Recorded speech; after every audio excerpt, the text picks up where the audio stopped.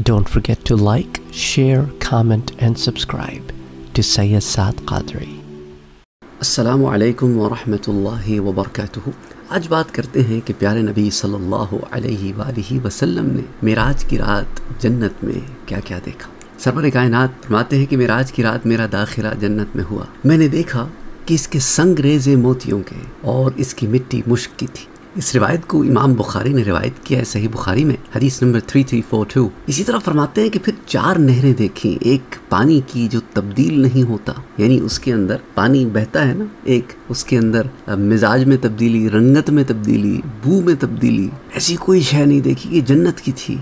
फिर फरमाया, दूसरी दूध की देखी जिसका जायका नहीं बदलता। दूध को ज़रा थोड़ी देर बाहर रखते तो कैसे जायका बदल जाता है? गर्मा का मौसम हो तो फ़ौरन फट जाता है। वहाँ दूध की नहर बह रही है, ओपन। कुछ नहीं होता उस दूध को। वैसी पाक साफ़ तरोताज़ा रहता है। फरमाया, तीसरी शराब की जिसमें पीने वालों के लिए सिर्फ़ लज्जत है, नशा बिल्कुल नहीं है। जन्नत की शराब है, दुनिया जैसी कड़वी नहीं है। और फरमाया, चौथी पाकिजा और साफ़ सुथरे शहद।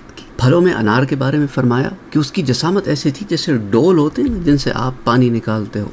कुओं से पानी निकालने के लिए डोल होते थे ना, उस तरह के अनार हैं। और परिंदे ऊँटों की तरह हैं। इसमें अल्लाह ने अपने नेक बंदों के लिए ऐसे ऐसे इनामात तैयार कर रखे हैं जिन्हें किसी आँख ने देखा नहीं, किसी कान ने सुना नहीं और न किसी इंसान के दिल में उसका ख्याल गुजरा है। इस रिवायत को इमाम बैहकी ने दलाइलनबुआ में रिवायत किया है। अच्छा इस ज़मन में चंद और बातें आपसे ज़िक्र करता चलूँ कि जन्नत की सैर के दौरान मेरे प्यारे नबी सल्लल्लाहु अलैहि वसल्लम एक नहर पर तशरीफ़ लाए, जिसके किनारों पर जौफदार यानी हॉलो यानी अंदर से खाली किए हुए मोतियों के खेमे थे और इसकी मिट्टी खालिस मुश्क थी। आप सल्लल्लाहु अलैहि वसल्लम ने हज़रत जब्राइल से दरियाफ्त फरमाया कि, या जब्राइल, ये क्या है? तो फरमाया, अर्ज़ की कि ये कौसर है जो आप सल्लल्लाहु अलैहि वसल्लम के रब ने आप सल्लल्लाहु अलैहि वसल्लम को अता फरमाई है। इसे सही बुखारी में किताब रिकाक में हदीस नंबर 6581 के तहत रिवायत किया गया। मिराज की रात ताजदार रिसालत शहनशाह नबूत मोहम्मद मुस्तफ़ा सल्लल्लाहु अलैहि वसल्लम ने जन्नत के दरवाजे के पास कुर्सी पर बैठे एक शख्स को देखा, जिसके बालों में कंगी की हुई थी और उसके पास कुछ सफ़ेद चेहरों वाले और कुछ सियाह चेहरों वाले लोग थे। फिर वो लोग, जिनकी रंगत में सियाही थी, एक नहर पर आए और उसमें गसल किया। तो उनके रंग साफ़ हो गए। उसके बाद वो एक और नहर पर आए और उसमें गसल किया तो उनके रंग मजीद साफ़ हो गए। उसके बाद उन्होंने तीसरी नहर में गसल किया तो उनके रंग इनके बाकी साथियों की तरह बिल्कुल सफ़ेद हो गए। लिहाजा वो अपने इन्हीं साथियों के साथ बैठ गए। सरवर कायनात मोहम्मद मुस्तफ़ा सल्लल्लाहु अलैहि वसल्लम ने जबरील अमीन से पूछा कि ये कौन लोग हैं? जिनके चेहरे सफ़ेद हैं और ये कौन लोग हैं जिनकी रंगत में कुछ खराबी थी? फिर वो नहर में गसल करके निकले तो उनके रंग साफ़ हो गए। अर्ज़ किया रसूल अल्लाह ये जन्नत के दरवाजे के करीब कुर्सी पर बैठे हुए शख्स आप सल्लल्लाहु अलैहि वसल्लम के वालिद हज़रत इब्राहीम अलैहिस्सलाम हैं। ये ज़मीन पर पहले शख्स हैं जिन्होंने कंघी की। और ये सफ़ेद चेहरों वाले, ये वो लोग हैं जिन्होंने अपने ईमान में किसी ना हक की आमेजिश नहीं की। और वो जिनकी रंगत में कुछ ख़राबी थी, ये वो लोग हैं जिन्होंने अच्छे अमल के साथ साथ कुछ बुरे अमल किए। फिर अल्लाह से तोबा की तो अल्लाह ने इनकी तोबा को कबूल फरमाया। और जिन नहरों में इन्होंने गसल किया, उनमें से पहली नहर अल्लाह अज्जवजल की रहमत। और दूसरी अल्लाह अज्जवजल की नमत की नहर है। और तीसरी नहर वो है, जहाँ अल्लाह ने इनको शराब तहूर पिलाई। दलाइलनबुआ में इस रिवायत को नकल किया गया है। तो अब आप अंदाज़ा करें कि मेरे प्यारे नबी सल्लल्लाहु अलैहि वसल्लम ने उस दिन कितने मुशाहिदात फरमाए और उससे हमें कितने सबक मिलते हैं। इस ज़मीन में उलमा एक आया मुबारक। तोबा से मुतल बात आई है, तोबा से मुतल हम बहुत दिनों से बात कर रहे हैं। तो एक आया मुबारक उलमा कराम इस ज़मीन में अक्सर कोट करते नज़र आते हैं कि वह तूबू जमियान ईमान वालों, हैं, क्या करना है तुमने? अल्लाह की तरफ़ तोबा करो। ए मुसलमानों, अल्लाह की तरफ़ तोबा करो। सब के सब इस उम्मीद पर कि तुम फला पाओ। अल्लाह अकबर अल्लाह अकबर। हज़रत अब्दुल्ला इबन मसऊद रज़ी अल्लाह तु से एक रिवायत आती है सही मुस्लिम में, उसका खुलासा आज पेश कर देता हूँ कि अल्लाह अज्जा वजल जो है, जब मोमिन बंदा अल्लाह से तोबा करता है तो अल्लाह अज्जा वजल उसकी तोबा को पसंद फरमाता है। और अल्लाह अज्जा वजल इससे ज़्यादा पसंद फरमाता है बंदे की तोबा की किसी शख्स को उसकी ज़िंदगी की मोस्ट इंपॉर्टेंट चीज़ खोने के बाद मिल जाए तो बंदा कैसे खुश होता है? इससे ज़्यादा खुश मेरा रब होता है जब बंदा तोबा करता है। शब मराज हजूर सल्लल्लाहु अलैहि वसल्लम का गुज़र एक ऐसी वादी से हुआ जहाँ ठंडी, पाकिज़ा और खुशबूदार हवाएँ चल रही थी। और आप सल्लल्लाहु अलैहि वसल्लम ने एक आवाज़ भी सुनी, फरमाया, जी, ए जब्राइल, ये ठंडी, पाकिज़ा और खुशबूदार हवा ये क्या है?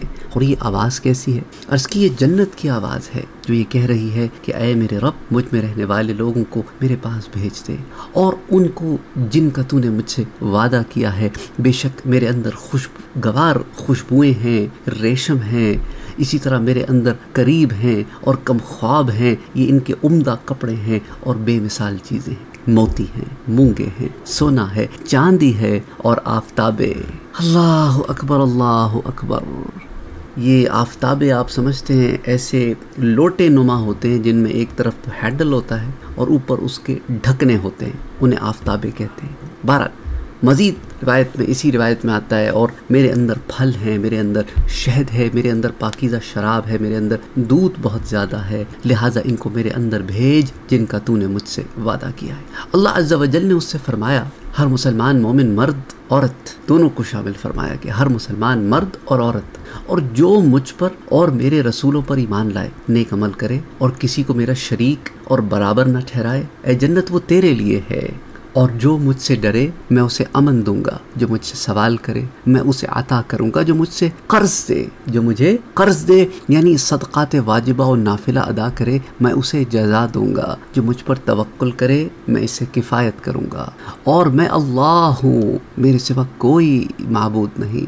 मैं वादा खिलाफी नहीं करता। बेशक ईमान लाने वाले कामयाब हुए। इसके बाद अल्लाह अज्जा वजल ने अपने पाक कलाम में से सूरह मोमिनून कि वो आया मुबारक पढ़ी, जो जिसमें अल्लाह ताला ने फरमाया कि मोमिन जो हैं, वो कामयाब हो गए और उनकी सिफात जो बयान फरमाई हैं, वो वो आयात जो है तो उसके बाद जन्नत बोली कि अय मेरे रब, मैं राज़ी हूँ। तो दलाइलनबुआ में ये रिवायत आती है, बड़ी तफसील से रिवायत है तो इससे अंदाज़ा करें कि जन्नत कलाम भी करती है जन्नत जानती भी है कि मेरे अंदर क्या क्या है और वो मोमिन की मुश्ताक भी है उनका इंतज़ार भी करती है, है। और अल्लाह से दुआ भी करती है कि बारी ताला भेज दे उन लोगों को मेरे अंदर जिनके लिए तूने नेमतें बनाई हैं। और अल्लाह अज्जा वजल ने उन मोमिन की सिफात का ज़िक्र फरमाया। आप सूरह मोमिनून की ना शुरू की चंद आयात ज़रूर पढ़ें तर्जुमे के साथ ताकि आपको पता हो। पहले भी मैंने आपसे ज़िक्र की है कि मोमिन की सिफात क्या क्या है। उन सिफात को अपने अंदर हम पैदा करने की कोशिश करें, ताकि हम उन लोगों में शामिल हों, जिनके लिए अल्लाह अज्जा वजल ने जन्नत जो है वो तख्लीक फरमाई है। बल्कि मैं ऐसा करता हूँ, आपके साथ उसकी इब्तदाई चंद आयात शेयर करता हूँ, फिर यहीं आज के दर्स का अख्ताम करेंगे, लेकिन इस सीरीज़ को हम कंटिन्यू रखेंगे। इसको दो, तीन, चार पार्ट्स में हम करते हैं, ताकि आहिस्ता आहिस्ता दोबारा अल्लाह अज्जा सूर मोमिन सूर मोमिन में फरमाता है अऊद बिल्लिमिनशैज़ीम बसमीम क़द अफ़लहलमिन के मुराद को पहुँचे ईमान वाले फ़ला पा गए ईमान वाले हैं फ़ी सलातिहिम खाशिऊन जो नमाज़ में गिड़गिड़ाते हैं खुशू इख्तियार करते हैं वल्लदीन